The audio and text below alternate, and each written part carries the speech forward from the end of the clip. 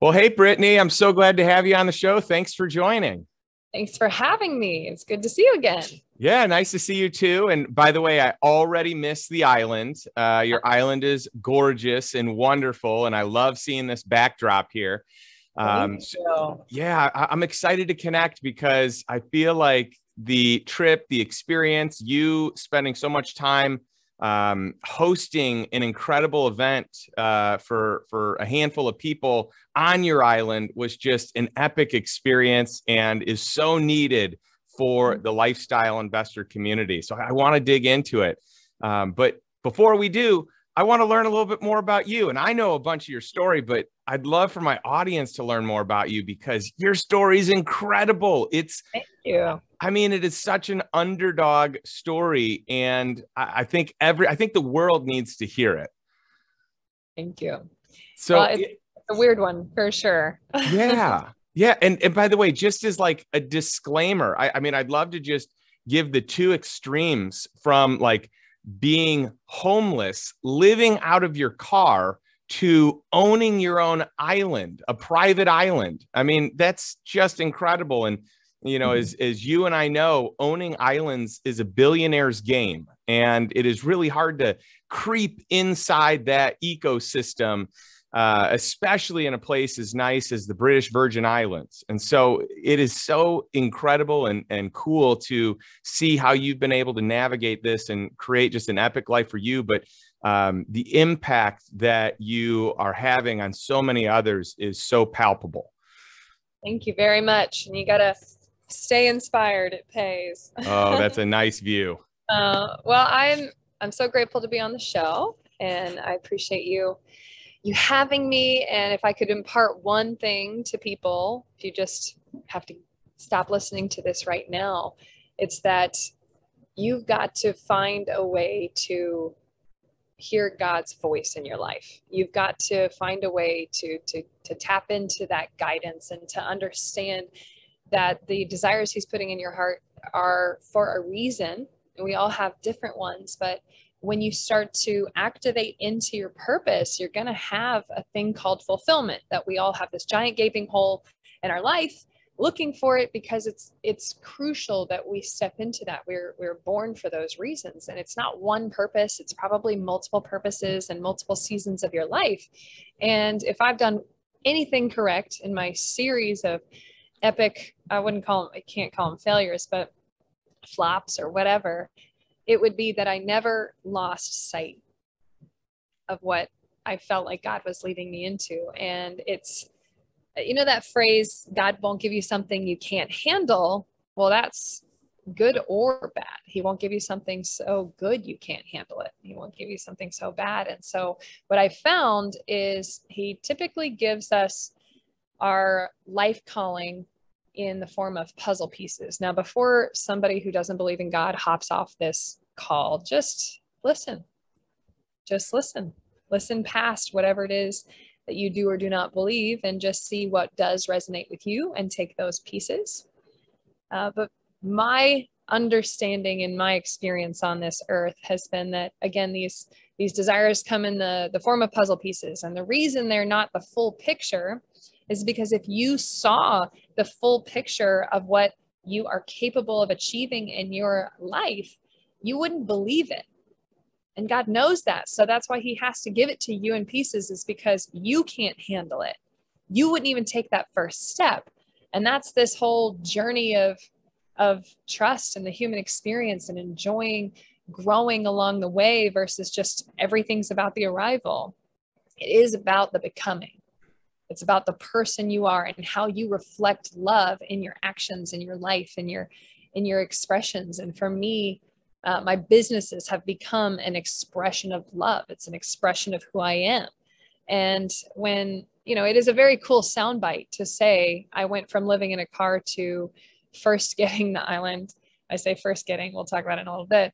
The island within seven years seven years from homeless to, to private island owner. And it is a very tough thing to own an island, especially somewhere this amazing. How did I do that? That is a very cool soundbite. But I am the same Britnie that lived in her car that owns this island. I'm still just as valuable. I was born valuable. I'm going to die valuable. And no thing makes me worth more. You've got to figure out who you are beyond your stuff so that you can own your stuff and your stuff doesn't own you. And the island is not the pinnacle of my career. This is a tiny piece. It's a wonderful, beautiful tiny piece, but it is still a vehicle in which I get to engage my calling. I get to surrender this asset as a force for good to be used as God's hands and feet to reach people and, and heal them so that they can activate into their purpose. But I want you to, I want to be very clear, as cool as that soundbite is, this island is still does not define me or my worth. Maybe my net worth, but not, not my real worth. Yeah, that that is you you put that into perspective so well, Britnie. And um, yeah, our, our, material possessions will never define who we are. Um, but I think that when we can use those possessions for a greater good, when we can use um, just things in our life that, that we can use our assets um, as a blessing to other people, I think that's where the power lies. And it's interesting because when I heard your story, it was never being uh, a, a, real estate mogul, uh, an entrepreneur, uh, an island owner. It was never this. Like your story was you wanted to be a missionary, you were a missionary, you didn't see this whole world of entrepreneurship or investing, um, probably even close to what it is here today. And I'd love to hear how you kind of shifted from you know first of all why why do you have a heart for people and specifically children? And and why do you feel called to be a missionary?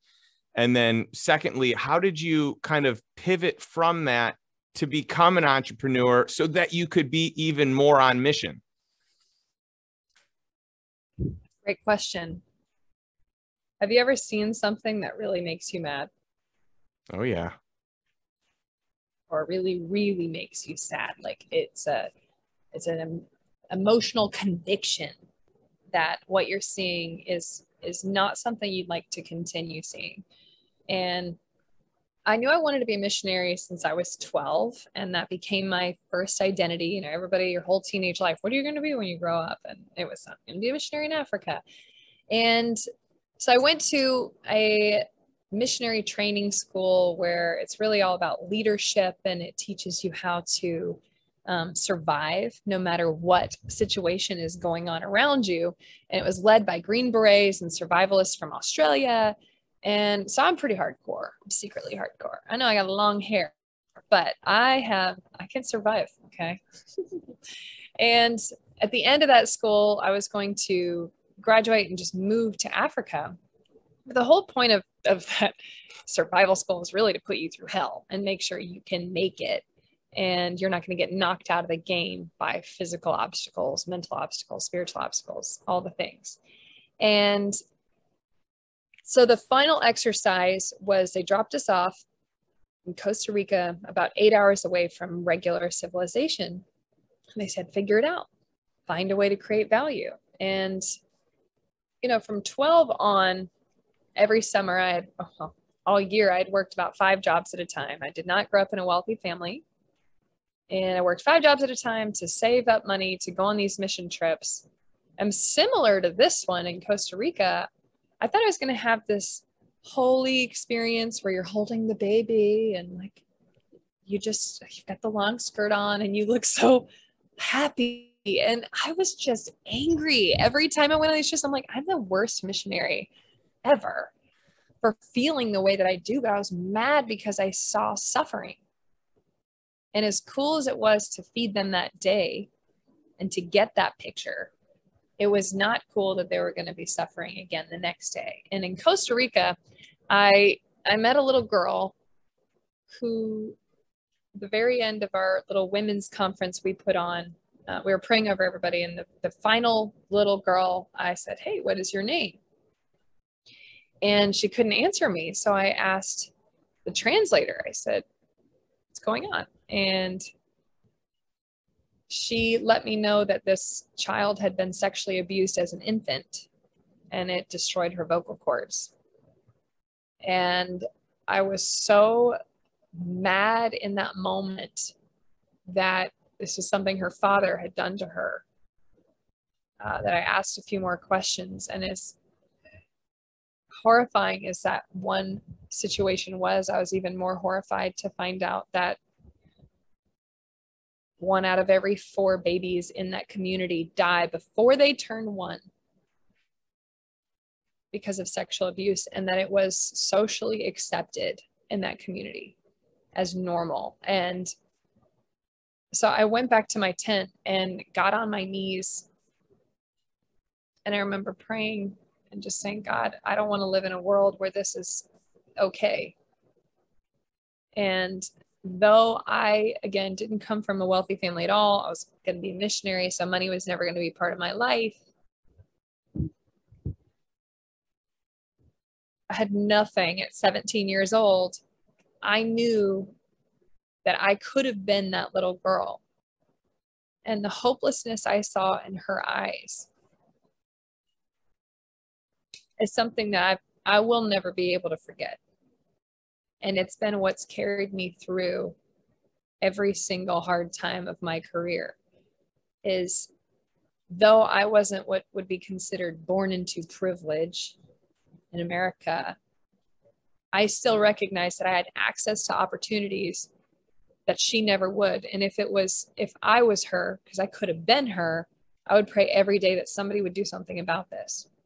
And so I want you listeners to look at your life and and stop looking at what you don't have and start looking at what you do have. And if all you have is a country that allows you to Google and to start learning things and to start putting pieces together, and there's not some giant corrupt government construct that makes sure you never get ahead, then you have access to so much that the rest of the world does not. And with that access does come a responsibility to be able to be a blessing, but it's also the most fulfilling thing in the world. Now, that doesn't mean you're throwing money at problems.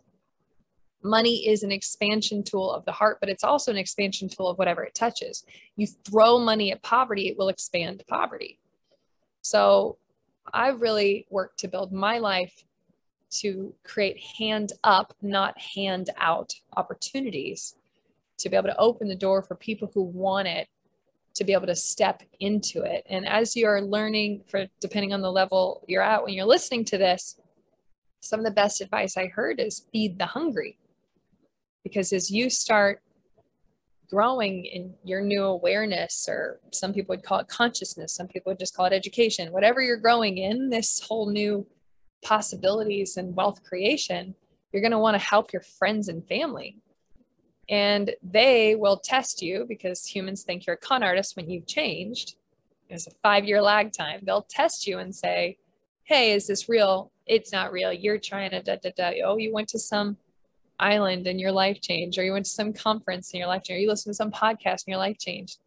And your calling's between you and God. You know, you're not going to take anybody with you. You're born alone. You're going to die alone. So your life decisions you are accountable for. And so, therefore, there's only so much space you can give other voices in your life, especially when humans can only see the past. Why would we let them dictate our future? But you're going to want to carry them with you. And when they don't want to come, you have to just say, okay, it's my job to feed the hungry. I'm going to open the door of opportunity for people who do want it.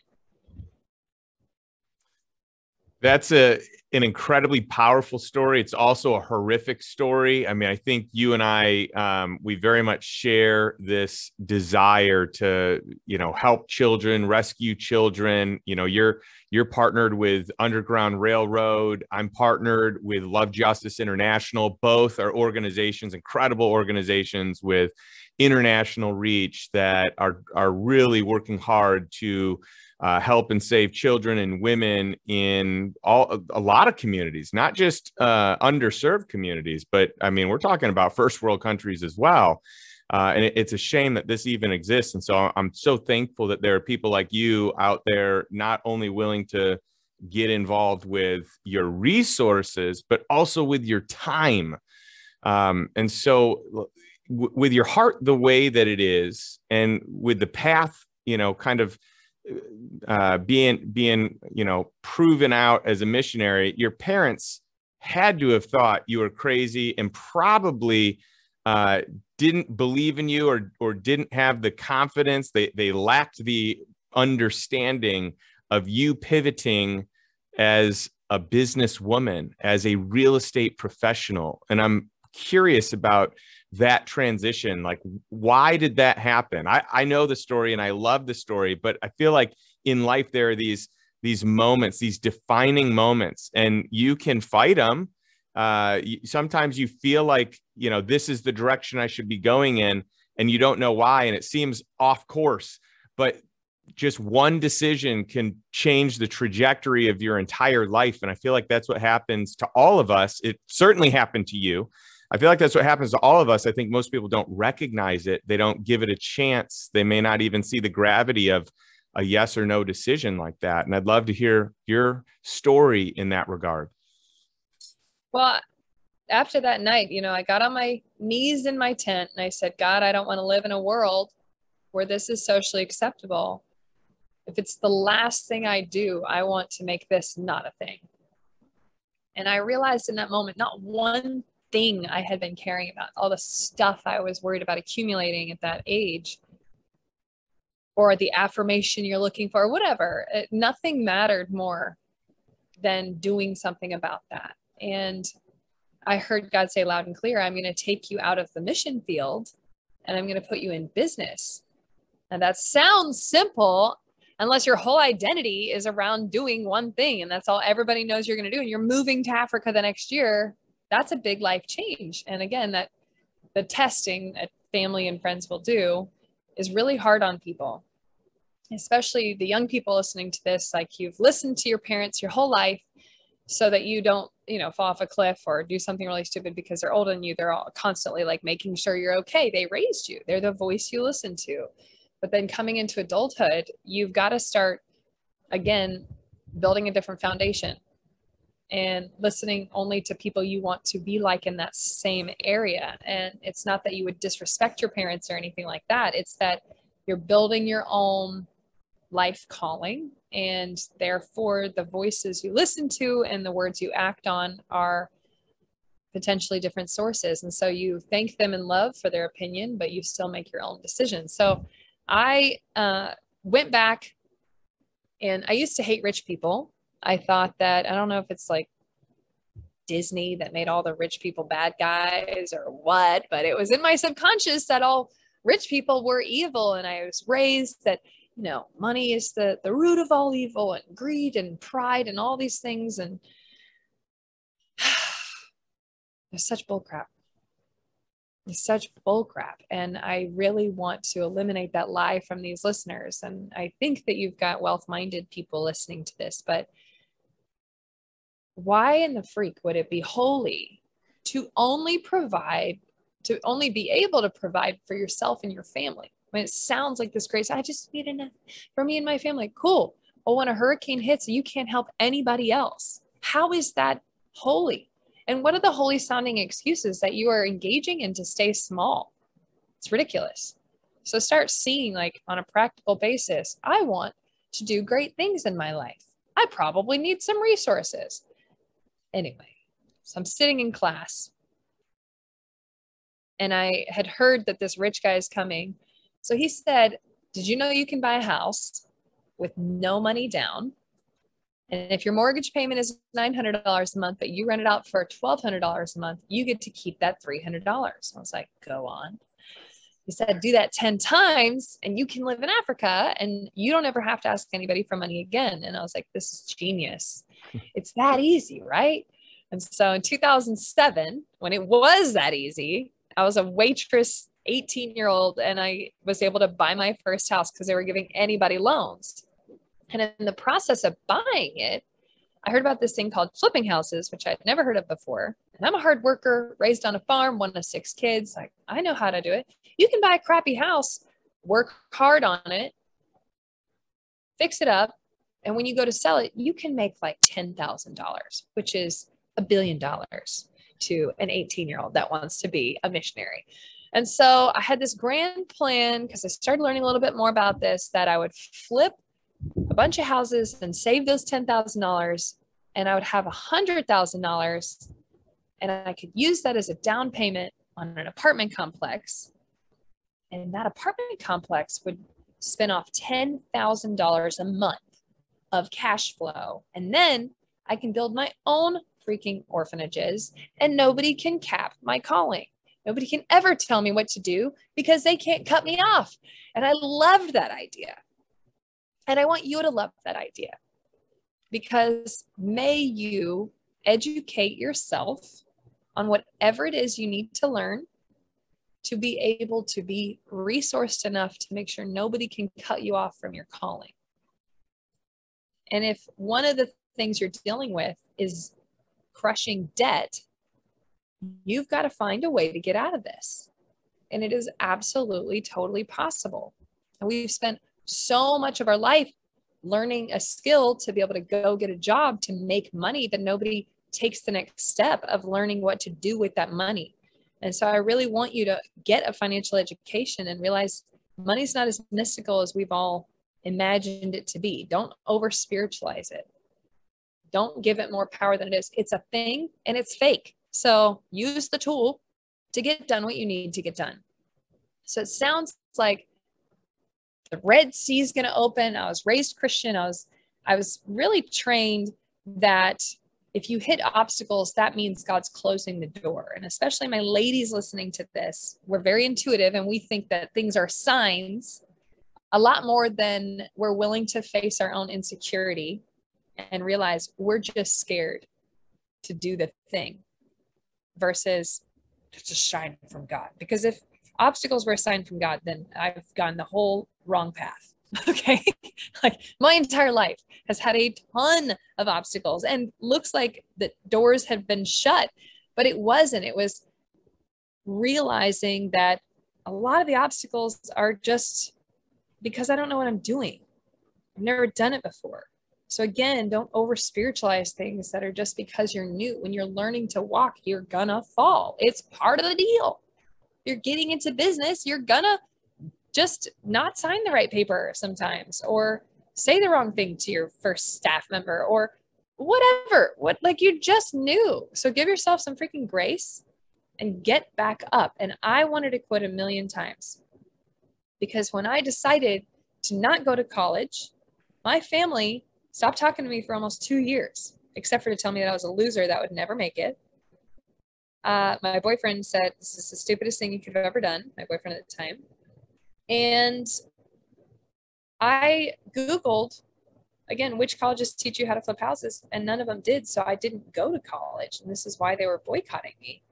So when I said I have to learn real estate another way, I called the We Buy Houses signs. And anybody remember what happened in 2008? Oh, yeah. Nine? Wasn't the coolest time to get into real estate. So I did look like an idiot, but I've learned how to work. Extremely long story short, I'm waiting tables. I end up meeting somebody on like the last dollar in my life. I'm in crushing debt.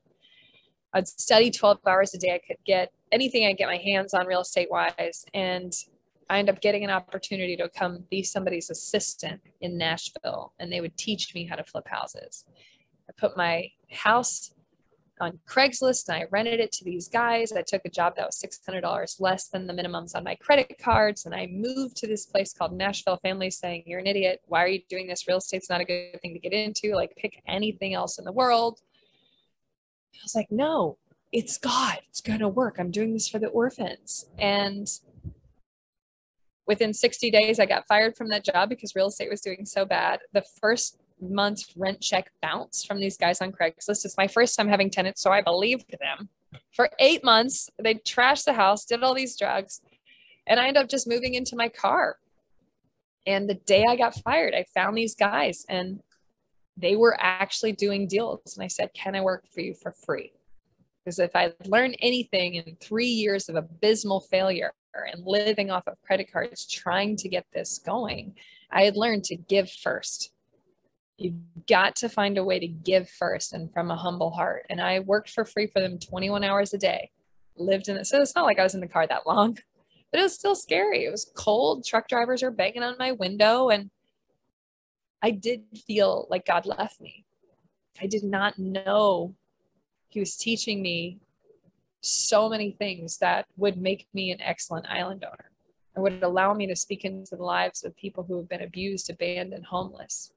I didn't realize I had a grace to be able to create templates on how to transform entire countries and bring them back to life after man-made or natural disasters. And I didn't realize that at I just turned 34 yesterday that I would be able to consult with presidents of countries and wipe out sex trafficking at its root and bring in economic opportunities so people don't have to sell their kids. I had no idea living in that car that that those were the days I was being prepared for this. And so though it might look bleak and though you may feel stupid, please write down on your mirror in your bathroom that everything is a blessing. You're just not far enough away from it to see it just yet. But don't label anything a problem. Don't label anything a curse. Label it all a blessing and just say, I trust. I don't have to understand just yet, but I will always get up. I will never give up on my calling because other people's lives depend on me stepping into what God has for me. You know, it's interesting, Britnie, that you bring up this great point of the fact that all these things that happen to us are blessings. We just may not look at it that way in the moment, especially if it's not according to our own plan. And um, and so any crazy situation, if I think of like the worst situations that have ever happened to me, fast forward five years, 10 years, and they're some of the greatest blessings that I've ever had and some of the greatest opportunities to uh, to learn and grow. And maybe I wouldn't be humble enough to learn it if things were going right, or maybe I wouldn't see this need uh, for this education because uh, I'm not um, I'm not broken down. I'm not desperate, and I, I think that that is an important opportunity in all of our lives to be willing to learn, to be willing to listen, to be willing to be mentored or find the silver lining when it seems like there is none in so many of these situations. And so that, that's very powerful. What I love about your story is you went from knowing nothing about real estate. There, there's no, I mean, most of the successful people in real estate did not go to college for real estate. I mean, it, wasn't really a thing for a long period of time. I mean, when I went to college, there were some classes at the University of Illinois, but they were such a vague overview. But luckily, I had some people that um, they were they were adjunct professors, which means they were business professionals that were teaching a course in the thing that they did really well. And so I at least ha- had you know a good bird's eye view. I had people that I could reach out to, but like you said, there's no class called flipping homes. I mean, most of the things that people do in real estate today, there's no class in college for this. You've got to learn, you've got to find a mentor uh, and, and you've got to learn that craft. And, and I love that you're like, hey, I'll do it for free. Even when you needed money the most uh, in your life, you've never needed money, you know, worse than this moment. And you said, I'll do it for free. Uh, and and you know you just opened yourself up to that opportunity which opened up many doors because you went on to be one of the largest real estate investors and owners in the city of Nashville, which is a booming city. It's a massive city. A lot of people are flocking to live there today. And I'd love to hear more of that before we kind of hear your how you embarked on uh, buying this island, Aerial BVI. Well, sorry to correct you, Justin, but it's actually throughout the entire southeast of America, not nice. just Nashville. Nice. uh, Even better. I did go from living in my car and working for free for these guys and watched how they did it. And, and for my young people listening, or for anybody listening, you got to find a way to create value, or people aren't going to keep you around. And so I, they wouldn't teach me; they're too busy. And so I would just sit in the car and take notes on their frustration. What are you mad about? They're mad at their contractor. They're mad that they don't have enough investment. They're mad they don't have enough deals. They're, they're you know, whatever their irritation is. Uh, they hate their realtor. so I would just start making their life easier by helping research this or finding the properties and bringing them to them. And then they told me why they didn't like it. I'd take a lot of notes so that I wouldn't bring them another one they didn't like. And, and that was such a good education.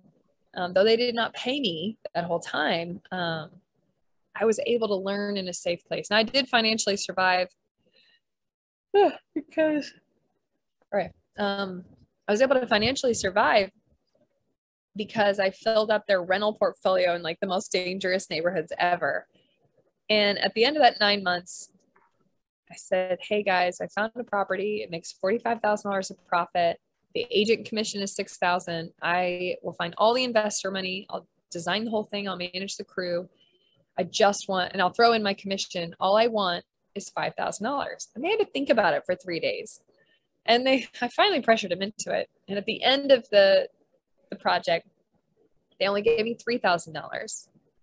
But I, and I was negative $836.27 in the bank.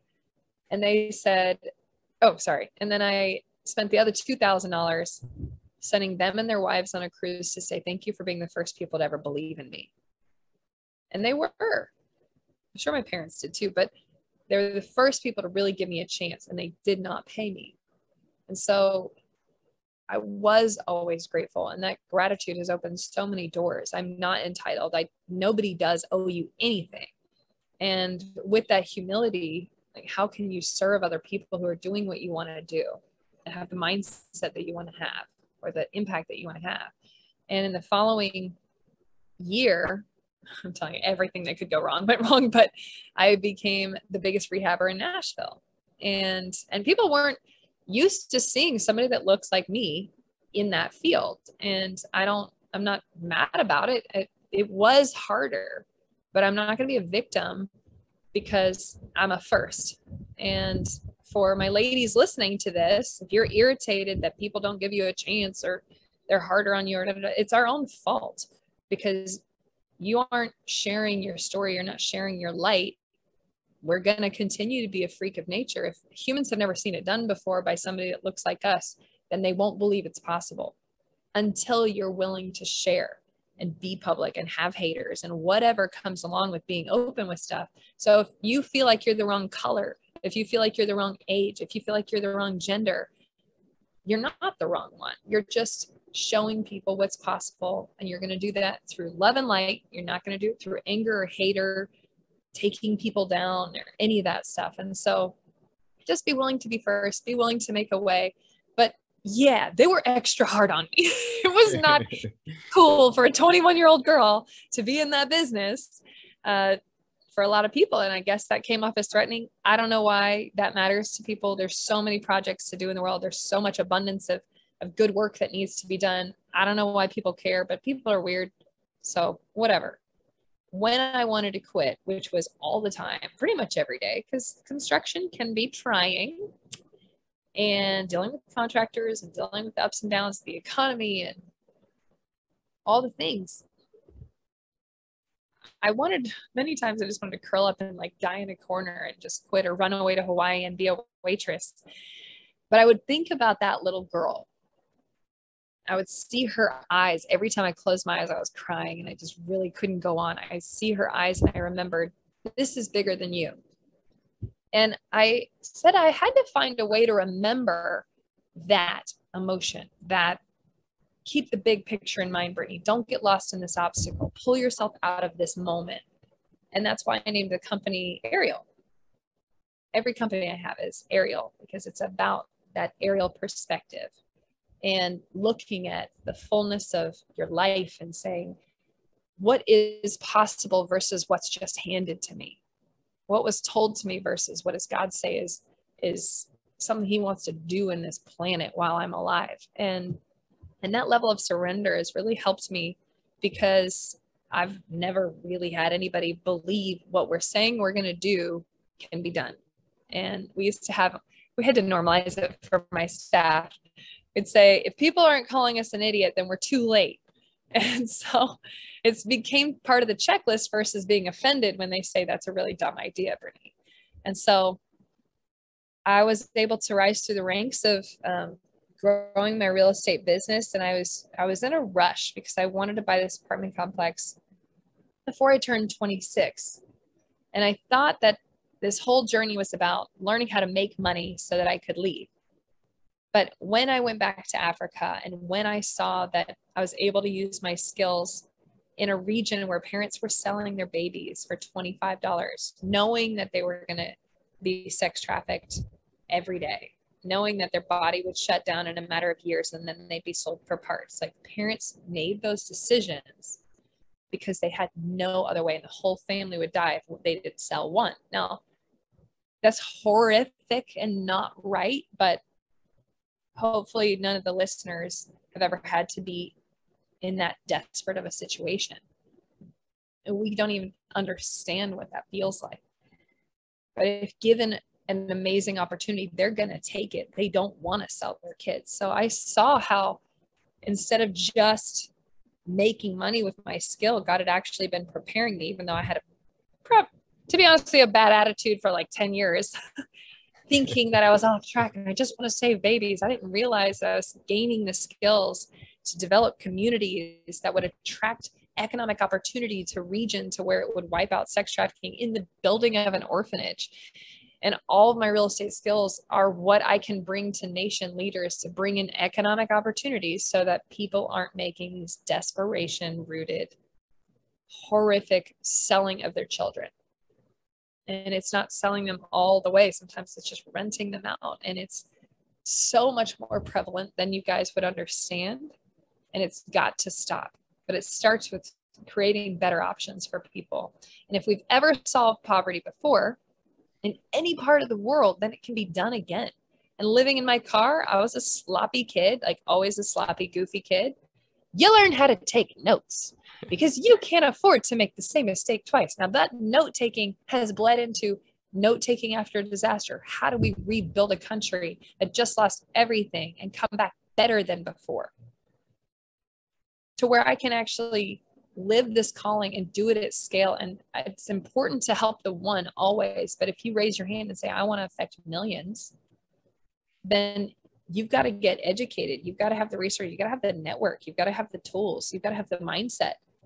You've got to have that connection to be able to walk that out. And that's something I'm practicing every day. Mm, that is powerful.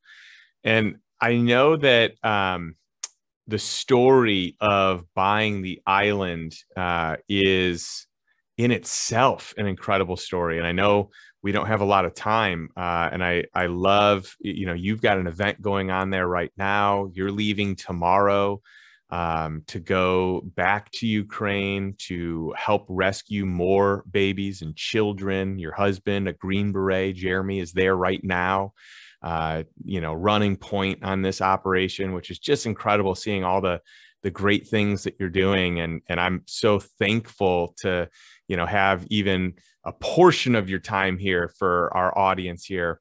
But I'd love to hear any of the story of acquiring the island, like how you even thought you were going to do it uh, with the time that we have remaining.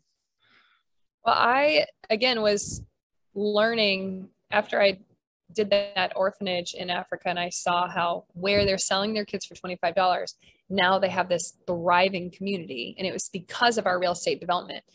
And it was building hope in hopeless places. That's where I started really seeing the connection of what God put in my heart at, at 12 and 17 and the skills I had been learning I saw putting those together were huge. And so I, I started practicing in my own backyard at 24.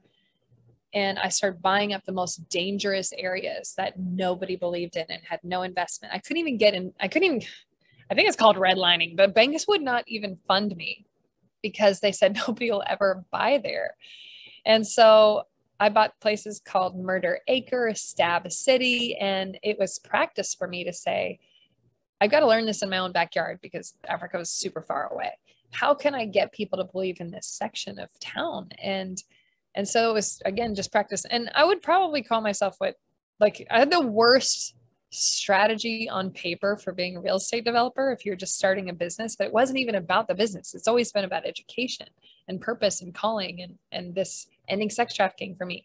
And so my businesses are just my vehicle to learn and create resources. They never, again, were my identity, which is probably not the right way to start a business. But I'm a weird person and I had a weird approach, and that's fine. It worked out for me.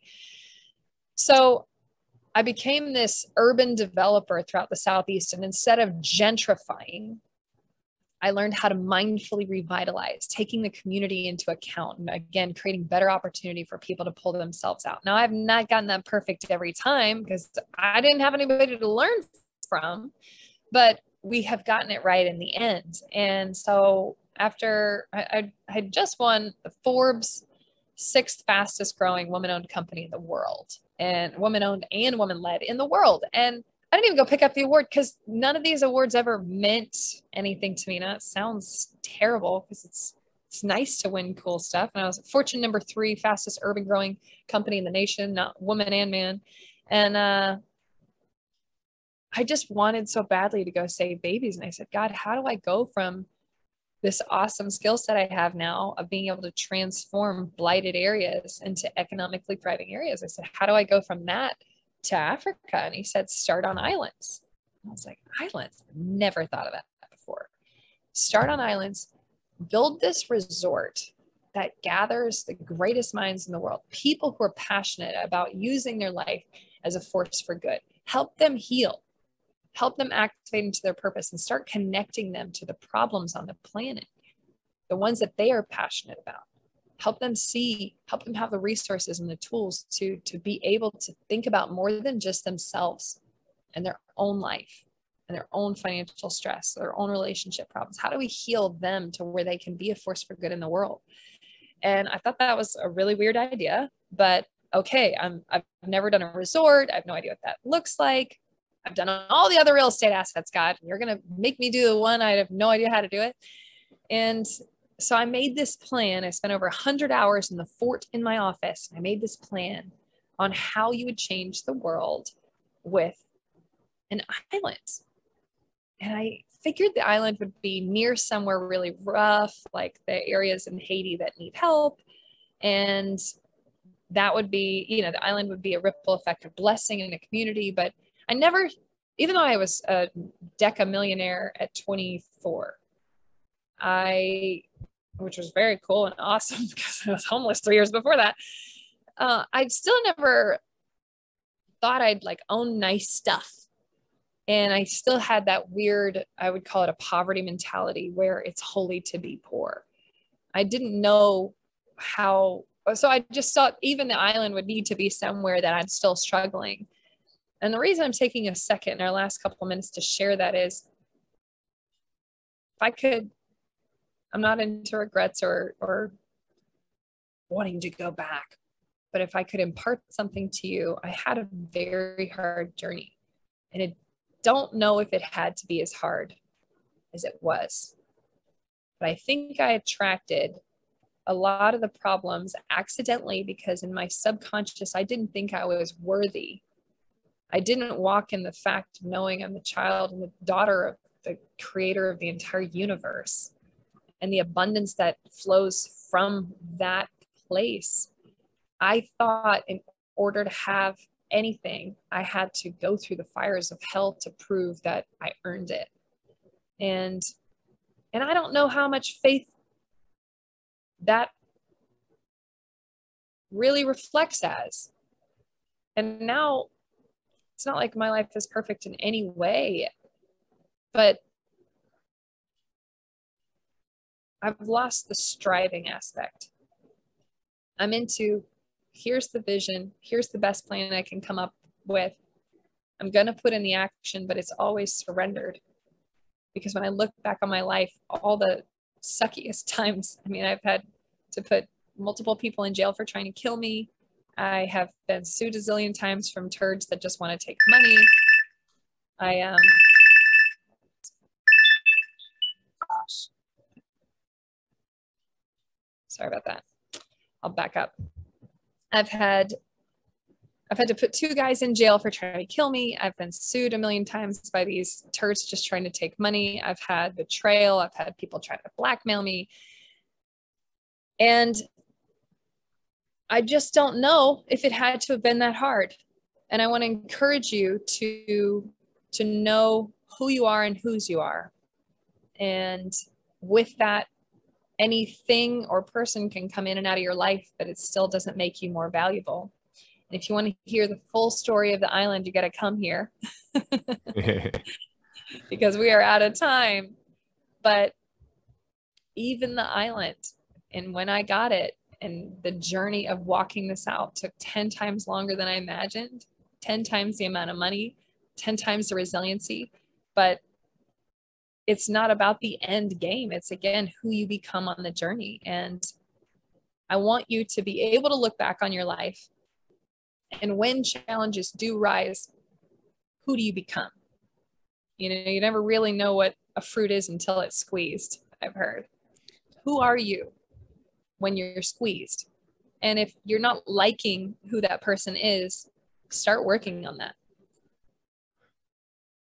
you've got such great wisdom and um, just phrases, um, analogies. I love it. There's so much fruit here uh, for us to be able to take home. And by the way, I can't wait for people to learn more about the story because it was, I mean, there were ups and downs just in buying the island, just in trying to secure it.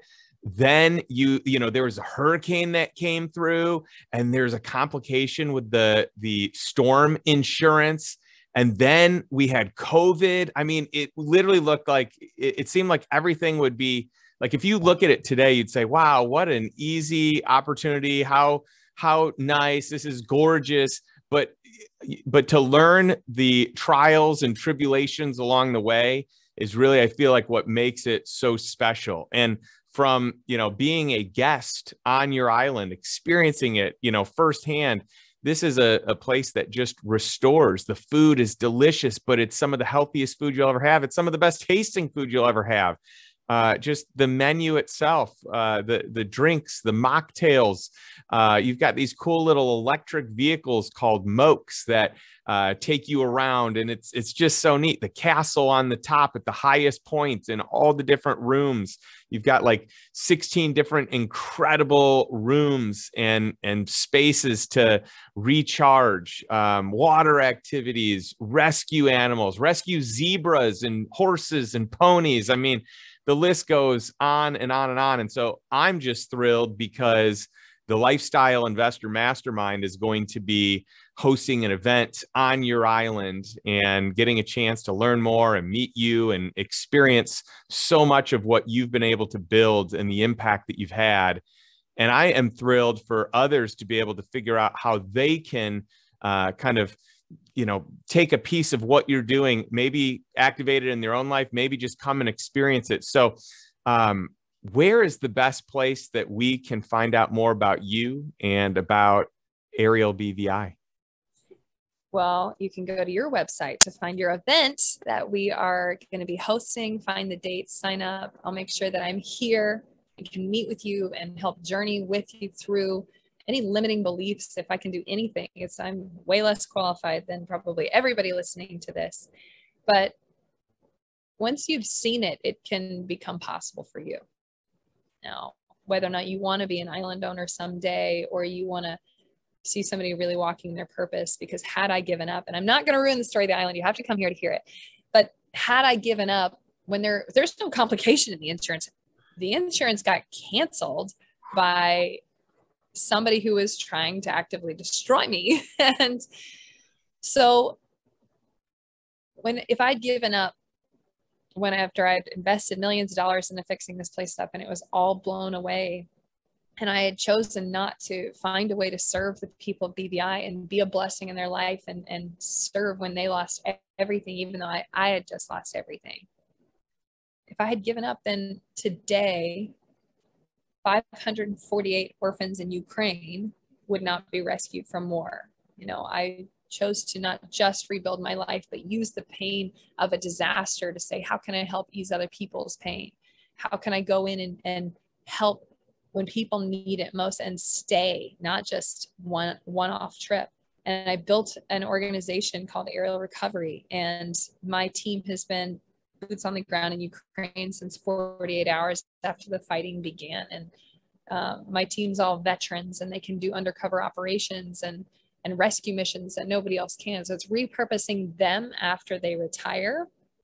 But they're the most skilled people in the world to be able to do these operations that save lives and and that's today we're about to get 300 more and it's horrific what's happening in the world but instead of even as an empath somebody who feels everything wants to cry all the time like i feel that pain but i do something about it and i built businesses to do something about it and i've created experiences and i've got uh, teams working around the clock to solve these problems and you have that choice in your life you can become a hater activist. You can become an ostrich that just, I can't hear those problems.